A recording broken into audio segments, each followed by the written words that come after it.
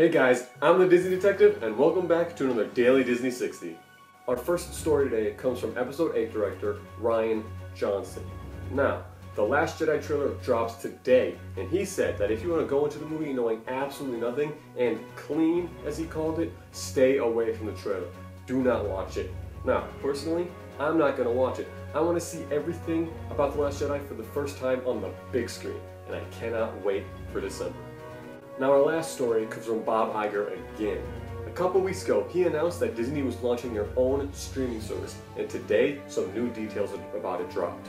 The type of video we'll be allowed to stream on their service is all the Marvel movies, all the Star Wars movies, every Pixar movie, and every Disney animated movie. Now, currently, Netflix has the rights to those.